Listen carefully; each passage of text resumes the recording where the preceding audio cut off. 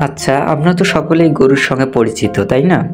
আমরা সকলে কম বেশি গরুকে চিনি, যদিও আমরা অনেকে গরু না পালন করি, তারপরেও কিন্তু গরুকে আমরা সবাই চিনে থাকি। যেহেতু গৃহপালিত যে প্রাণীগুলো রয়েছে, পশু, তার মধ্যে কিন্তু গরু খুবই প্রাচীন এবং পরিচিত একটি প্রাণী। এটিকে চেনে না এমন মানুষ হয়তো বা খুঁজে পাওয়া দুষ্কর। হয়তো বা সে এই পৃথিবীর কেউ নয় যে গরুকে চিনে না। কেননা সেটা গরুর মাংস খাওয়া হোক বা চোখে দেখা হোক, যে কোনো না একটা উপায় হোক গরুকে তো চিনে থাকি। তো আমাদের ন্যাচারালি একটা গরুর দাম কীরকম হতে পারে? আমরা সাধারণত দেখি যে দেশি গরুগুলো বিশ হাজার টাকা থেকে শুরু করে এক লাখ, দেড় লাখ পর্যন্ত হয়ে থাকে এবং যে বিদেশি যে গরুগুলো রয়েছে, উন্নত জাতের সাহিয়াল রয়েছে, ব্রাহ্মার রয়েছে, বিভিন্ন ফ্রিজিয়ান রয়েছে, এগুলো আপনার ষাট হাজার থেকে বাছুর থেকে শুরু করে দুই লাখ, চার লাখ, পাঁচ লাখ হয়ে থাকে দাম। এছাড়াও দেখা যাচ্ছে যে কোরবানির হাটে যখন গরু ওঠে, সেখানে কেউ শখ করে দুই, তিন বছর পেলে একটা ব্রাহ্মা বা ফ্রিজিয়ান অথবা শাহিয়াল গরুকে আপনার আট লাখ থেকে শুরু করে বিশ লাখ, তিরিশ লাখ, চল্লিশ লাখ পর্যন্ত বিক্রি হতে দেখা যায় বা পঞ্চাশ লাখ টাকা বিক্রি হতে দেখা যায়। তো এখানে ন্যাচারালি যে কোশ্চেনটা চলে আসে যে পঞ্চাশ লাখ টাকা বা বিশ লাখ টাকা যখন একটা গরু বিক্রি হয়, এই গরুটি আসলে কীরকম হয়?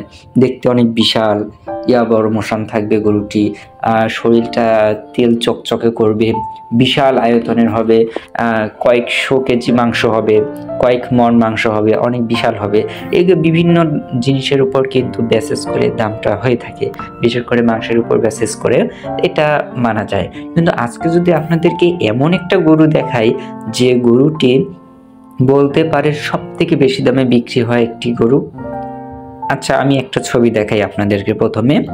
এই যে গরুর ছবিটি দেখতে পাচ্ছেন, এই গরুটির দাম কত হতে পারে? আপনারা একটু ইমাজিন করুন। নিজেরা একটু ইমাজিন করুন যে এই গরুটির দাম কত হতে পারে। আই থিঙ্ক আপনারা আমার মতোই ভাবতেছেন যে চল্লিশ হাজার, পঞ্চাশ হাজার সামথিং বা ষাট হাজার এরকম হবে। কারণ এটার বডি ফিটনেস অতটাও না। আবার দেখা যাচ্ছে এটা দেখতেও অতটা কি সুন্দর বা চাকচিক্যময় না। তো এই গরুটির দাম হয়তো বা সর্বোচ্চ এক লাখ পর্যন্ত মানলাম হতে পারবে। কিন্তু আমি এখন আপনাদেরকে যা শোনাবো শুনলে রীতিমতো আপনারা চমকে উঠবেন। কেননা এই গরুটির দাম দুই কোটি একষট্টি লক্ষ টাকা। কি অবাক লাগছে তাই তো? সম্প্রতি ইংল্যান্ডে একটি গরুর দাম নিলামে উঠল যেটার দাম দুই কোটি একষট্টি লাখ টাকা। আসলে শুনে আমি অবাক হয়ে গেছি এবং এই গরুটি হচ্ছে এই ছবির গরুটি। ছবিতে যে গরুটি দেখতে পাচ্ছেন, এটি সেই গরু। এই গরুটির নাম পস স্পাইস। বয়স মাত্র চার মাস। চার মাস বয়সের একটা গরুর দাম দুই কোটি একষট্টি লক্ষ টাকা।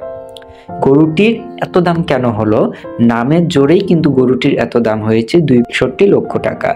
গরুটির নাম পজ স্পাইস। কেন এই গরুর দাম এত বেশি? দামের দিক দিয়ে ইতিমধ্যে বিশ্ব রেকর্ড কিন্তু করেছে এই গরুটি। এত দাম, এর আগে কখনো কোনো গরু বিক্রি হয়নি। চার মাসের এইরকম সাইজের গরু এর আগে কখনো বিক্রি হয়নি। এই গরুর মালিককে এই গরুর মালিক হচ্ছে ভিক্টোরিয়া ব্যাকহামের এক ভক্তের। ভিক্টোরিয়া ব্যাকহামের এক ভক্ত, তিনি এই গরুটি পালন করেছেন এবং এই ভক্তই গরুটির এই নাম রাখেন, পস স্পাইস। গায়িকা ছিলেন যিনি, যে ভিক্টোরিয়া ব্যাকহাম একজন গায়িকা ছিলেন, আমরা সকলেই জানি, সেই ভিক্টোরিয়া ব্যাকহাম প্রথমে স্পাইস গার্লস এর সঙ্গে যুক্ত ছিলেন। সেই সময় এই ব্যান্ডের হয়ে গান গাইতেন তিনি। একটা ব্যান্ড ছিল যেটার নাম স্পাইস গার্লস এবং সেই ব্যান্ডের হয়ে তিনি গান করতেন এবং পরিচিতি ছিলেন পস স্পাইস হিসেবে। সেই কারণেই এই গরুটির নাম রাখা হয় পস স্পাইস। এই গরুর মায়ের নাম ছিল জিঞ্জার স্পাইস এই ব্র্যান্ডের অন্য এক গায়িকার নাম। মোট কথা, এই যে ভক্ত, এই ভক্ত এই ব্র্যান্ডের যে গায়িকাগুলো ছিল, ওদের নামে গরুটির নামকরণ করত। যেমন এক গায়িকার নামে এর মার নাম রেখেছিল জিঞ্জার স্পাইস এবং এই গরুটির নাম লিখেছে পস স্পাইস যেটা হচ্ছে গায়িকা ভিক্টোরিয়া ব্যাকহামের একটি ব্র্যান্ডের নাম অনুসারে। এই খামারের মালিকের নাম হচ্ছে ক্রিস্টাইন উইলিয়ামস। এই ক্রিস্টাইন উইলিয়ামস উনিশশো উননব্বই সালে এই খামারটি তৈরি করেন। এই খামার থেকেই কিন্তু তিনি প্রতি বছর গরু নিলামে বিক্রি করেন। শুধু যে একই দিন বিক্রি করেছেন এমনটা কিন্তু নয়, ইনি কিন্তু প্রতি বছর এখান থেকে গরু নিলামে বিক্রি করেন।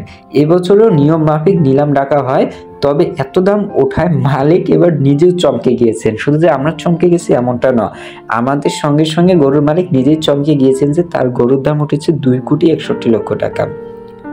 ম্যানচেস্টার ও ক্রাম্বিয়ারের কয়েকজন পশু কারবারি যৌথ উদ্যোগে কেনে এই গরুটি। কিন্তু এত দাম দিয়ে গরু কিনে কি করতে চান তারা, তা কিন্তু জানা যায়নি এবং মালিক নিজেও জানেনি যে তারা এত টাকা দিয়ে গরুটি কিনে কি করবে। এবং ওরাও কখনো প্রকাশ করেনি যে তারা দুই কোটি একষট্টি লাখ টাকা দিয়ে চার মাসের এই বাচ্চুর গরুটিকে কেন কিনলো। কি বিশেষত্ব আছে বা গরুটি দিয়ে তারা কি বা করতে চায়? তো আপনাদের মনে কি জাগে? আপনাদের মতামত অবশ্যই কমেন্টে জানাবেন যে তারা কেন এত টাকা দিয়ে এই চার মাস বয়সের একটি বাছুর গরু কিনলো এবং এটার উদ্দেশ্য কি? তারা কি আদৌ লাভবান হতে পেরেছে কিনা বা তাদের উদ্দেশ্য সফল হয়েছে কিনা? অথবা তারা কি বোকার মতো করে দুই কোটি একষট্টি লাখ টাকা দিয়ে এইরকম একটা গরু কিনলো? ভাই, আমার তো মাথা কাজ করছে না, আমার মাথায় ঢুকতেছে না। আপনাদের মাথায় যদি ঢুকে থাকে, আপনারা অবশ্যই কমেন্ট বক্সে জানাবেন যে এত টাকা দিয়ে কেন তারা একটি গরু কিনতে যাবে খামোখা?